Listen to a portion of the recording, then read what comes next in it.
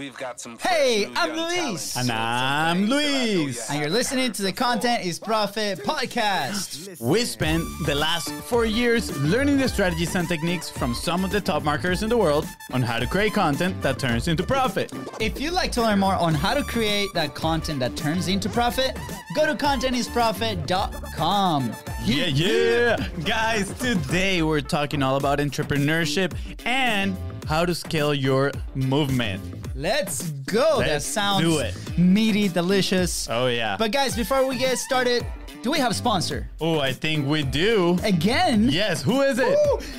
It's Content Momentum brought to you by Biz Bros, your, your one and only. So if you have a long form right content, yes, those two right there. If you have long form content, you want to multiply your message, but you lack the time or the team to do this, just give us a call, slide into those DMs, and let us know. We can help you multiply that message with a ton of awesome assets. That is right, guys. That is right. Was that a good one? Slide into the DMs. Yeah, yeah, pretty Beautiful. good. Pretty good. Awesome. Before we get started, guys, go ahead and subscribe. Don't forget to hit the subscribe button. Smash it, actually. And follow us on social media at BizBrosCo. That is right, guys. And if you find this episode impactful, please don't forget to share it with others so we can help them as well. And and don't forget to leave a five star review. Thank you, guys. Let's go. So today's guests show the power of being hashtag table face. Hmm.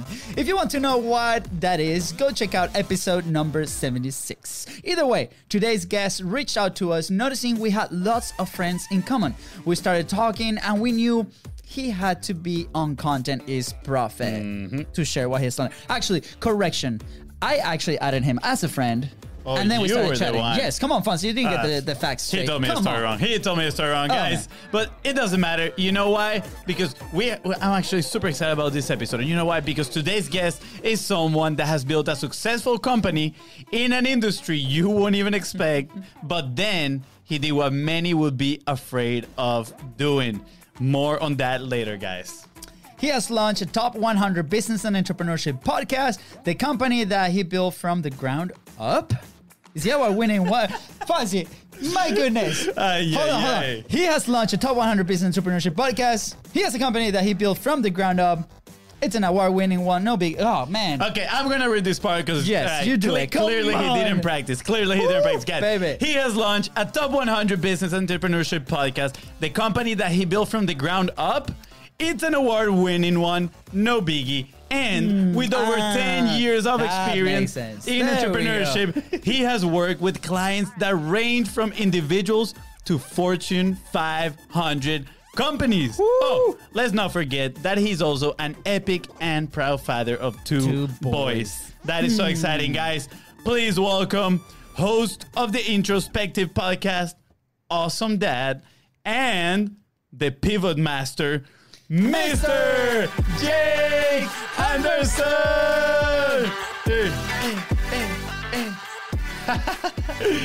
Let's go. Welcome, Jake. How's it going, Damn, man? It, guys.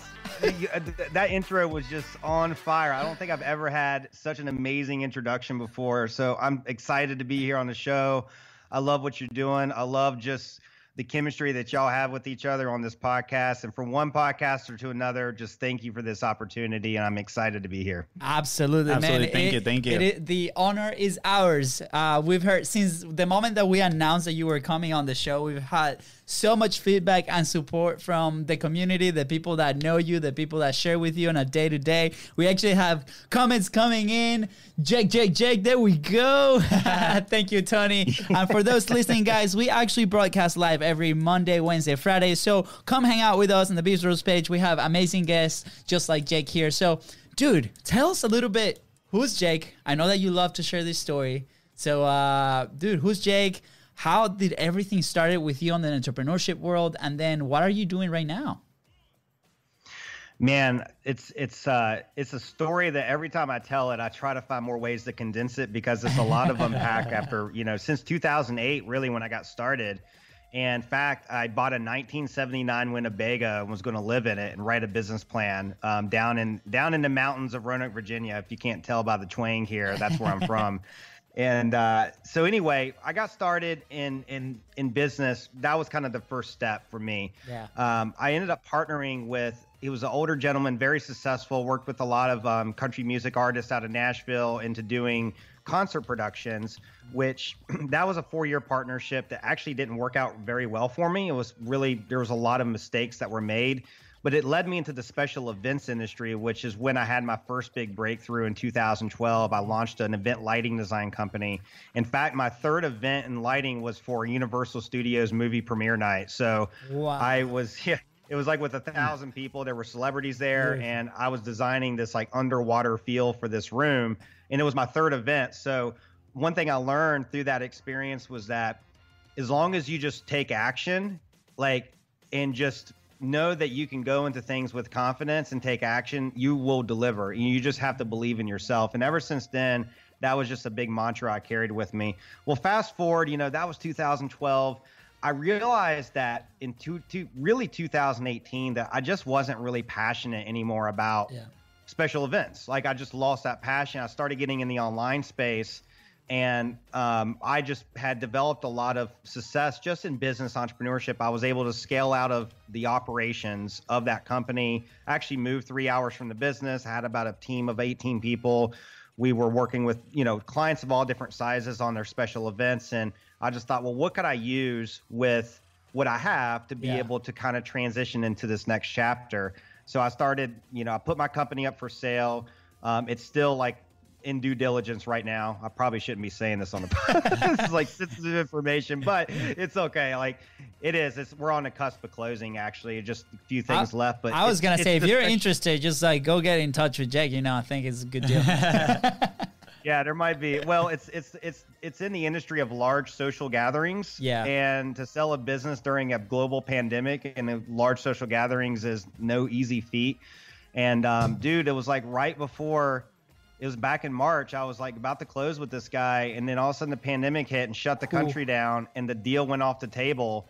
and Oh, then man. fast forward, I was able to revive it, but it just the cost, like it pretty much cut my valuation in half. So like Yeah. I had to like go back. I'm reinventing myself in online space, and really, I've, I've found just empowering entrepreneurs through through the just through human connection and building relationships and really focusing on their movement Yeah. right that's when i got into podcasting and learning how to really break through hard choices and leveling up in business and life and empowering those relationships and scaling those movements with absolute clarity is really where i, I like to serve Yeah. and um, and that's where I'm at now. I just launched a new program recently. It's my first like signature offer, which Let's- is already halfway sold out. So yeah, man, Let's it's, go. it's been, been rocking and rolling.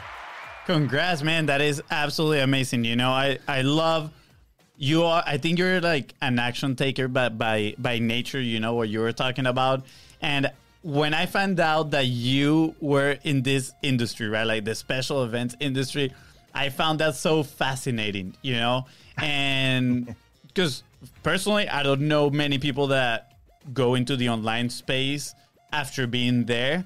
And I remember, so I was listening to a podcast that you were a part of, and you were saying that at first, when you went into the online world, you were actually going to do something with related to special events, right? Which I found Yeah. super interesting because, of course, usually we try to help the people that, you know, the path that we've walked.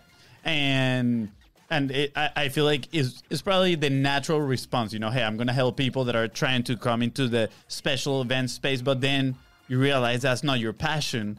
And that's what I meant here in the intro, where I'm like, you know, he did something that a lot of people will be afraid of doing, which is pivoting completely, pretty much, right? Like, hey, it's totally okay. So, what do you like? First, I, I- I'm super curious. You know, was there any fear in that transition, like that decision that you did right there? Um, and if so, be, besides dealing with it, you know, like, how do you think? What What do you think led you to have this success that you're having right now? Yeah, it's it's a great question, and it was in it was sometime in the summer of 2018. I I went through that chaotic period of figuring out like what's the new thing. Like I mean, I, I'm like on my whiteboard, just like a madman, writing out ideas, and I had I think I had some like t-shirt idea that I, I was like I keep going to these t-shirt businesses because I love t-shirts. Yes. And it's like eventually it's going to happen. I'm going to have a t-shirt store at some point. It just hasn't happened yet. But anyway, what what had come to my like the the thing that I wanted to do and what I was going to do in special events was I was going to build a software. I was going to get into SaaS. In fact, I was trying to be like, that's when I discovered ClickFunnels and Russell Brunson. Yeah. And I was like, I'm going to be the Russell Brunson of the special events industry and build this software. And I was writing a book called Event Pro Systems that teaches you how, because the thing that was different for me is that I was a business owner in the special events industry that lived three hours from the business, which was very like uncommon to find in that Yeah. industry. Wow. So I ended up like, I was like, uh, I, Special Event Magazine picked me up as the top thousand event professionals in the country. Um, I got ranked in um, what was it? Um, no, I'm sorry, that was it was Biz, Biz Bash. I got ranked in Biz Bash for that, and then Special Event Yeah. Magazine picked me up for that too. As like some notable Awesome. things because of that particular situation that was Yeah. like very rare to find. Well, this is what happened, man. Like I started in this huge software project. I was writing this book. I never had published. Like barely made a post on Facebook Yeah. and all of a sudden like i built i was building like a maniac i was building the software like spending all this money and then it was may of 2019 so it was almost a year later i was like all right well i feel like i'm at a point right now where i can launch something and i guess this means that i have to start publishing this means that I, i'm starting to go on podcasts now i've got to be this thought leader like in this industry that I didn't realize that I just didn't care about anymore. Hmm. And when it came time to publish, I felt all this resistance. Like, and I thought at first, I thought, well, you know what? I'm new. Like, yeah, there's going to be resistance, right? When you're Yep. new at something, you're going to feel resistance. And so I'm just going to accept it and just keep with it. And then five months later, it just didn't go away. Like, I just kept feeling like nothing was clicking. And I was about 60 grand into this project. Wow. And I don't know how many hours of time. And I realized that I made a mistake and was building a business that I was building the wrong business, is really what I was doing. Yeah. And, uh, and it, I just had to read the writing on the wall. And it was October 2019. And I decided to shelf the entire project and start over. Um, and that was a really scary thing to do because there was a lot of money involved and a lot of time involved. I Yeah. spent over a year working on this, and um, it was just it was it was a it was a very liberating feeling as much as it was scary at the same time. Yeah. And um, so that's what. So at that point, I just really got obsessed with clarity, like finding clarity in your journey and in your mission and how you serve. And I just like I'm just going to start there, and then from there, I'm going to kind of grow into this next mission.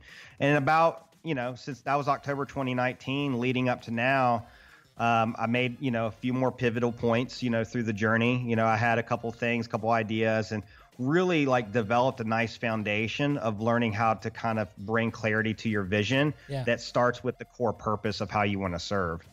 Yeah. Wow. There, there- there's so many points there. First, uh, I want to start with the t-shirts, you know, because we actually did the t-shirt thing when we first started. Whoa. I mean, if don't my my only you know uh, opinion would be don't do the screen printing yourself, man. Like Yeah. either get out the printer or something. Man, we struggle. It was that. I mean, we we tell that story in a few other episodes, but it was rough. And actually, these shirts that we're wearing right now, it, we we made, and this is like the last memory of that. So going back to not enjoying what you're doing, right? We weren't enjoying it, and we had to pivot. We're like, okay, let's do something else. Let's move on to the next one. Yeah. And you know what I found super exciting is that topic on you spend this whole year studying, right? Like diving deep, like building, and and then you're like, okay, I need to publish now. I guess I got to launch. I need to publish, and then you found this resistance. Yeah. So I have two questions here. First is, do you think the resistance went away, or do you, do you still get the resistance? Right? If you do, how do you deal with that? And then, what is your advice? I guess on, you know, I, not your advice. Like I want to see your point of view on on publishing now, right? Because before, Yeah. uh, like in that story that you that you told, I'm getting the sense of publishing as a tool, as an immediate tool for reaching people, right? So I'm, I wonder if you have a different point of view about publishing right now. Man like you asking me those questions gets me so excited. This is a topic I love talking about with publishing and the fear and the resistance and like, because. Yeah. I'm now I'm actually an introvert. Believe it or not, I'm I'm very introverted and you know, even I always tell the story like when I was in kindergarten, I was so backwardly shy that my kindergarten teacher called my mom on the day I let her tie my shoes. She was like, "You'll never believe what Jake let me do today. He let me tie his shoes." And uh, so my mom, like, when she was like, "You're doing what?" I'm like, "Yeah, I got a podcast. I got a radio show." She's like, Amazing. "She's like, I've got to call your kindergarten teacher because she never believed." Uh, so so I just, but it was something. It's just who I am. I'm, I'm definitely an introvert, and I think when you get started, you're going to there's going to be this fear of almost like you you you criticize yourself you become your own worst critic and, and you overthink about how you're perceived to the people you're speaking to. And that was definitely what i was experiencing. And and i remember dude this will make you laugh as podcasters like my first podcast I went on, I literally I I first off I said these are the questions I want you to ask me. I told him the questions I want him to ask me. And then I went and typed out my responses to the questions and had the piece of paper beside me I like it. like I was going to read them off or something. oh no. And, and and then I never even touched the piece of paper when we started. I, I don't even remember what the questions were, but that's how scared I was Yes. about Wow. publishing Yeah. because I to the point where I'm like writing out my answers and like memorizing them, which is a terrible idea. And uh, so anyway, what has happened to answer your first question? Like now, no, I don't at all. I used to I used to like think about the idea going live on Facebook, and I remember it would terrify me. But Yeah. then I hit record or hit live, not record, but hit the live button, and I started talking, and I realized like this isn't so bad. And it's okay to screw up a little bit. It's okay to trip over your words a little bit. Yeah. Yeah. And it's all like it's. I always go back to. I don't know if y'all study any Stoicism or not, but I always think about the Seneca the Elder quote: "We suffer more from imagination than we do in Mm. reality." yes. And when I think of publishing, it's just that quote really speaks to that so well because in our imagination, we think it's like, it's like, I've got, I don't know, whatever, 3,000, or 4,000 friends on my Facebook profile. And I feel like when I hit live, like initially, I'm thinking like 4,000 people are like watching me like, speak, yeah. criticizing everything I'm saying. And it's like I'm walking on some stage and there's 4,000 people watching me. But really, it's just, that's just not true. That's not really how it is. Yeah. And the fact is, is that, and this is the other thing too, and I want to give you a piece of advice and the listeners a piece of advice here about publishing that really helped me kind of break through that fear. Absolutely. Um, the first thing is, well, actually, it's two things. The first one is you just got to start. Don't overthink it and just hit start and speak. And people love that authenticity. People love the realness about you and and just let you shine and, and love that, right? Mm-hmm. So there's that. That's the first thing. Just kind of keep that in mind. But the second thing is I really flip the lens around and think about the people I'm serving, right? That's really what it's about. It's not about whether or not I say ums or my ahs or you knows or whatever, you know, too much, or maybe I'm maybe my head's a little bit too shiny for the camera right now, or whatever, whatever the thing is that you're criticizing yourself for. That doesn't matter at all. It's about the message you're putting out to people, and you never know who could be listening to that message, and you never know ha- if that message or how that message could could impact our life in a very positive way. And it just takes one statement, right? It was like that statement I just said to you about Seneca the Elder. We suffer Yes. more from imagination than we do in reality. yeah. Yeah. So Jake, like that was- the, sorry, you were continue, continue, Uh, please, because this is amazing. yes. Oh no no no! It, it, all I was going to say is is the last thing here. The last pillar is to celebrate your growth. So in my podcast, like episode six, I call it the the look back of transformation, and it's a solo episode I did. And what happened was episodes two through five, I recorded those like a month, like back in June. It was the interviews, and then episodes seven and eight were interviews I recently recorded about a week before I started editing. And I remember I was listening. I was now I've outsourced it actually to Corey and Ron for the podcast stuff. But like at the time, I was doing my own editing and I was listening to myself, and I was like, man, I can definitely tell a difference between how I sound and my energy between the first four episodes and the last two that I just recorded. Yeah. And normally, like, I feel like the old me would be like, criticizing myself like gosh how could you sound? And it's not that i sounded bad but i, I could tell that energy change that difference in energy. Yeah. and you might want to feel hesitant to release those because you feel like you don't sound perfect or whatever.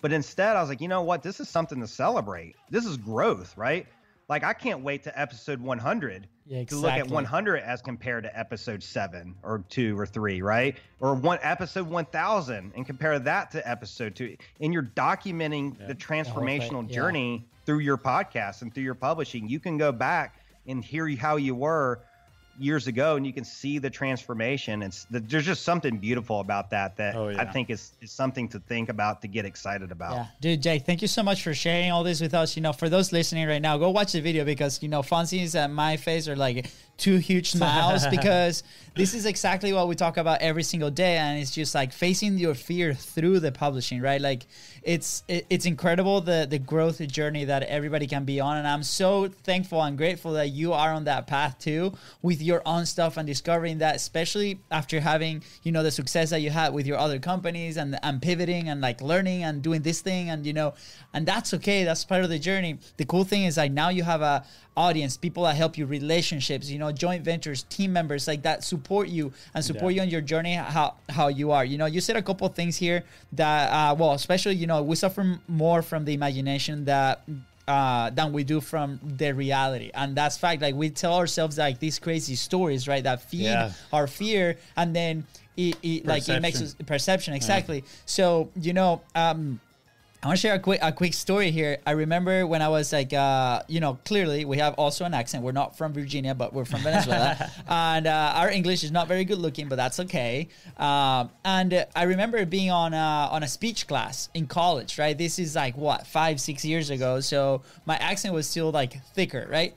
And they're like, hey, you just gotta talk out out there in front of the class and you gotta share a story about your country. You gotta share something about your country, right? So I'm like, oh, easy, sweet. So you know, I know a bunch of stuff about my, my country, so I'm not even gonna research. So I put some pictures up there, and then I went on and started speaking. And uh, the professor was sitting there, and they had somebody count all the hums and the ahs and all this stuff. Count them, right? Like that was a specific job of this person. And so one student goes in, they count, you know, oh, well, you said, you know, in three minutes, you said it 10 times. In four, in three minutes, you said it two times and whatever, right? So that was kind of like the focus of the thing. I'm like, oh man, like, I like I think I'm gonna crush this. I never say ums, um, ahs, or whatever. Like, I don't think so. Well, I say my three minute speech and then I come back and the teacher, like, because of the energy was up, because you know, naturally I think like that's an environment that we love being in. So but I did say some hums and ahs, right? And I could tell by the face of the students that they were kind of shocked and uh, that they thought I was gonna fail that stuff. And the students like, "You want to know how many you said?" And I'm like, "Go ahead, say it." You said a hundred in three minutes, and I'm like, "What?"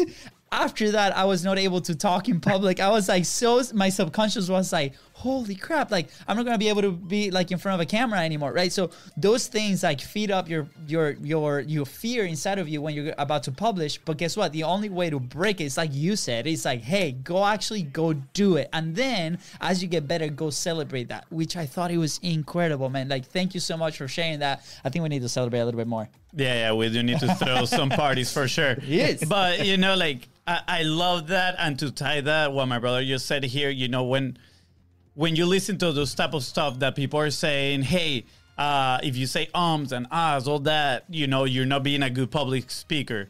Like, don't get that get into your head, right? Because at the end of the day, like, some people are gonna like you and then some people are not gonna like you right like that that's 100% normal not always 100% of people are gonna like you and i think it's super important for people to understand that it's not our job to to to make other people feel a certain way right? All we can do all we can control is ourselves or actions the way we speak right? I mean if you want to stop saying ums and, and all that stuff okay maybe just go in front of the mirror and practice it whatever whatever you want to do.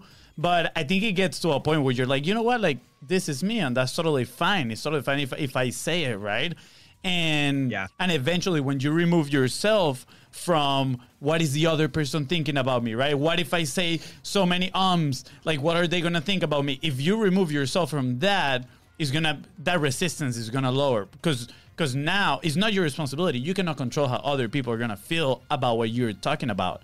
So that's my tip, my advice for people is really don't you know don't care that much about what other people are gonna feel after you talk. Of course care about your audience and and you know like you said right? Like what is my audience want to hear? What do they want to hear? And and that's obviously part of the the whole strategy. But on how you make them feel how they feel from listening to you you gotta separate that feeling because yeah. it's gonna do you no good. And you know what? Like you said that you don't feel any resistance um, I'm surprised. I honestly thought you were gonna say you still felt resistance, right? And and that's my personal experience. Like, I mean, this is episode 77, and I still feel resistance sometimes, right? And yeah, and but it, the thing is, like, now we've trained our body and our mind to take action regardless of the resistance. We're like, hey, it's okay. I we look resistant in the face. Uh, put some some boxing gloves, you know, bam, bam punch each other in the face a little bit, and then we go and do it, and it's it's totally okay, right? Yeah. So I, I'm I was thankful, I guess, and yeah, yeah, I'm thankful for you sharing that. Like, you don't feel that way either, you know, because now I can feel see like both sides of the spectrum, I guess. Yeah. So, Jake, you, you mentioned something really, really important, right? Like, we struggled with that for a long time when we first started, like, our services with the agency and so mm-hmm. on. It's like, it's all about the who I'm serving. So yeah. I have a question mm-hmm. before we go into the last couple of them that we have for the show. It's like how how do you find that who? Because you came from an industry and then completely pivoted into something a little bit different. So are you still in the process of finding that who? Like what are some of the things that you actually did to actually find that right audience? Uh yeah. Let's dive into that. You know, that's yeah, and I think the the question of the who and who your avatar is is it's a question that once upon a time used to kind of paralyze me a little bit in in progress because I would I would get so caught up into the details of who this person was yeah. that I was like trying I felt I felt like I was forcing things to work. So the change that I had made and, and there's a couple things that um that I have shifted, I guess, in my perception or my approach to like finding the who that I feel like is working pretty well for me um, so far. At least so far it is. Yeah. Is uh, the first thing is having just a general understanding of like the market you want to serve, right? Like, is it entrepreneurs? Is it uh, you know, financial advisors? Is it, mm-hmm. you know, people in the weight loss market? Like, where do you want? Like, yeah. just starting, just starting there first, right?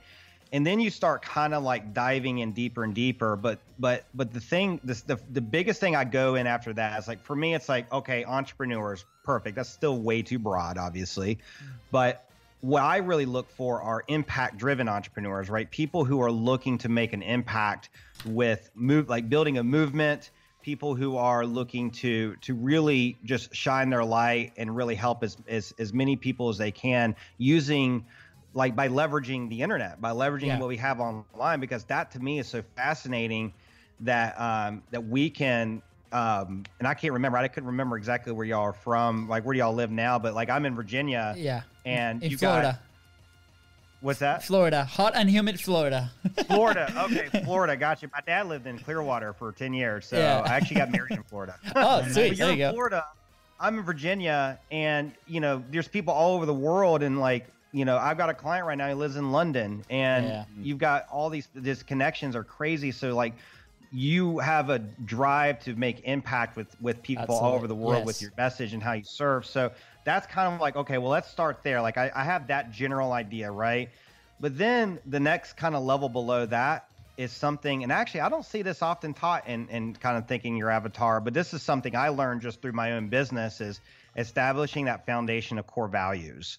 Hmm. and but making that part of your who right because yeah. this is the thing when it comes to people you work with on a client the client you know as a client level customer level the best relationships are ones are people who have some alignment with your value system and what you believe is is important what you fundam- fundamentally um, view as right and wrong and like you're like just the priorities that you have and those val- that system of values so i always look for for similarities and values, especially if you're working on a private level with somebody and it's a Absolutely. very intimate relationship Yeah. in business. But then below that, you start to like learn who you attract, right? You Mhm. start seeing by just being yourself, you know, don't worry about just be yourself and like think of yourself as just this magnet, right? Some people you're going to repel, some people you're going to attract, Yeah. right? And just have awareness like who are the people who I tend to repel versus the people who I tend to attract.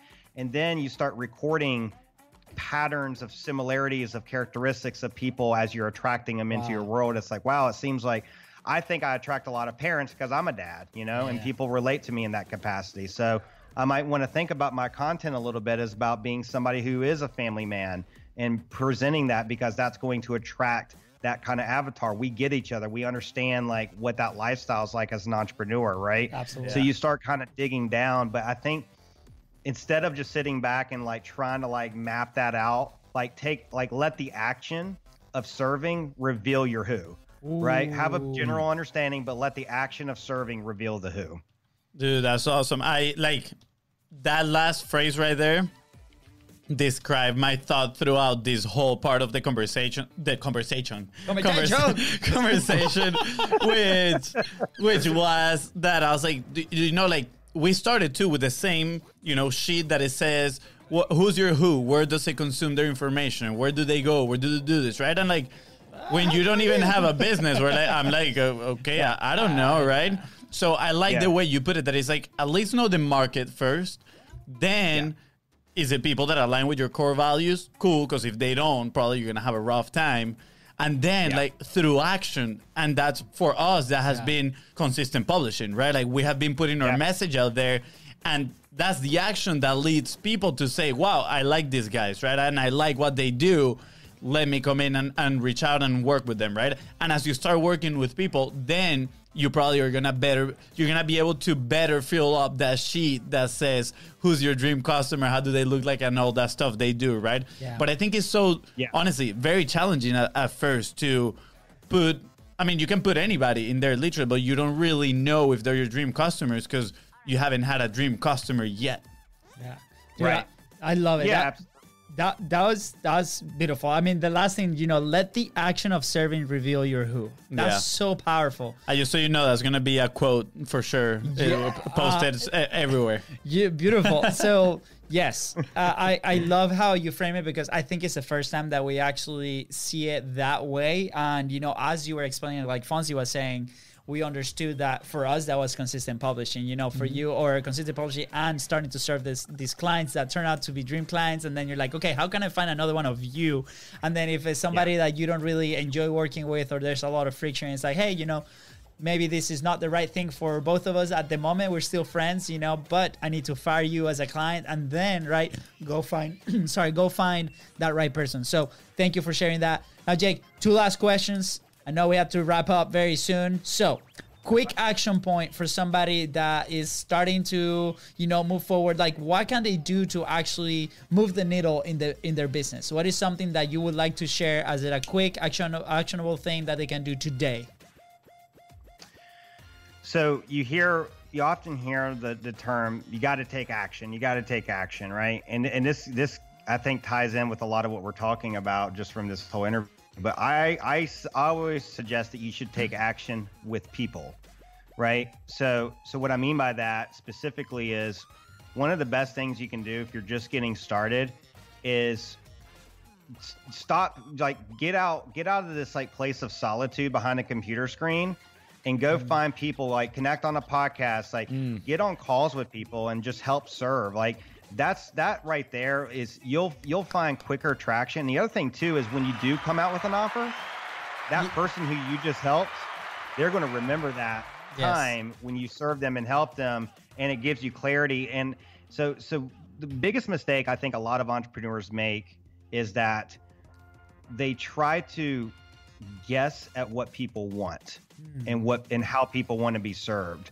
rather than letting them tell you how they want to be served yes and the only way to really learn that is to take action, but to take action with people and to actually get out there with people. So that's why like human connection and relationships is a big part of the foundation of how I serve because I know that if you can master relationships and be able to build those connection points not only with customers but with with people you're you're on podcast with or people that you're you're partnering up with or Mm. employees or staff like in business it's nothing but relationships with all these different types of people so you have to learn how to take action with people so if you really want to get moving quickly that's where you start Wow, that was amazing. And you know, like we testified to that because our business started growing once we started taking action with people, once we started building relationships with other people, you know, having these conversations in the podcast and being curious because that's the only way you're going to really know Absolutely. what their problems are and how you can help them later. Yeah. So thank you so much. That was amazing.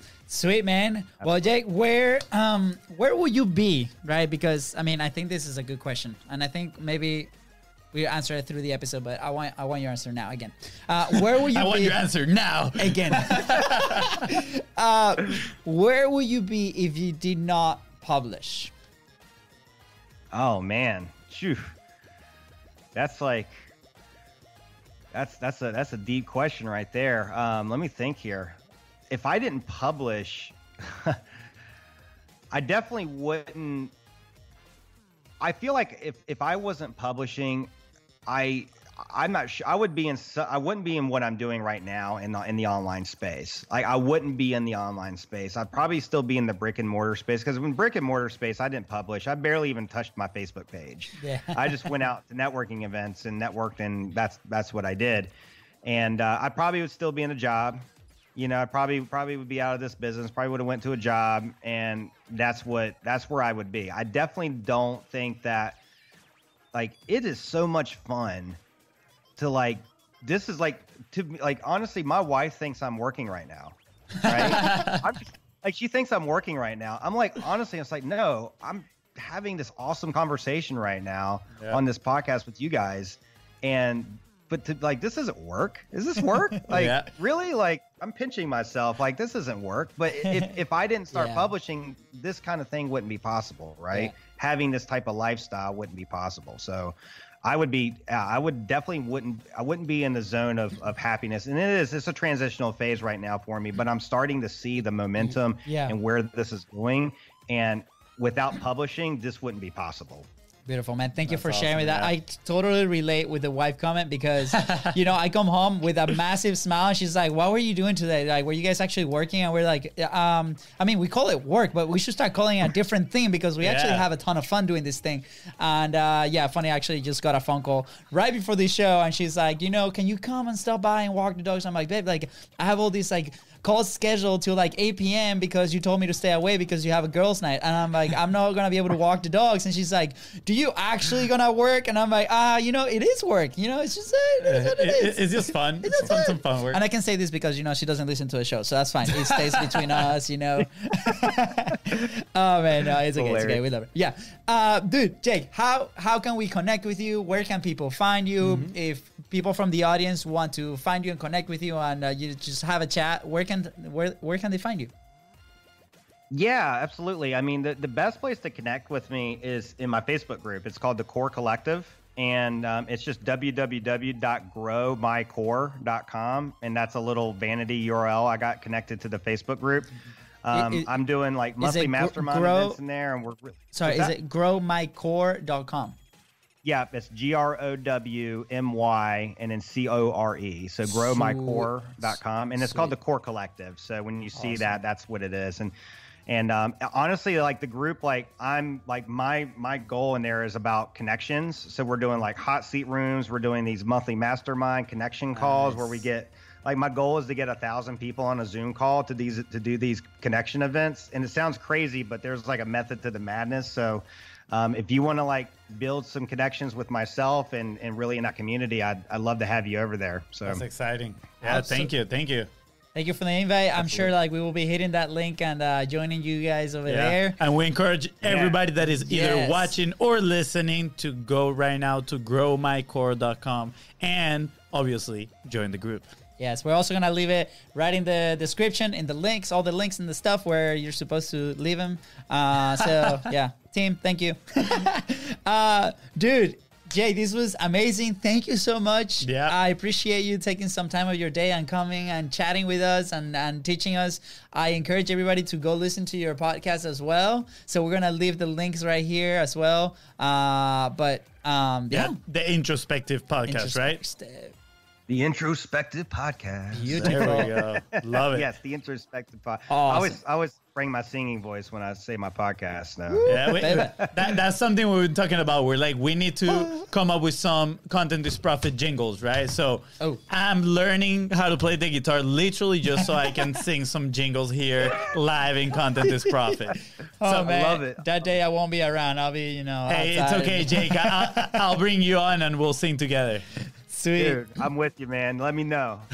Awesome, guys. Well, Jake, don't leave. We have to say bye to the Facebook audience. But with that being said, guys, thank you so much for tuning into the Content Profit podcast. Don't forget to go ahead and subscribe. Actually, go ahead and subscribe. Hit smash it. What happened today, Luisda? And uh, don't forget to follow us on social at Biz Bros Co. That is right, guys. And if you find this episode impactful, please don't forget to share it and leave a five star review. Thank you, guys. Bye.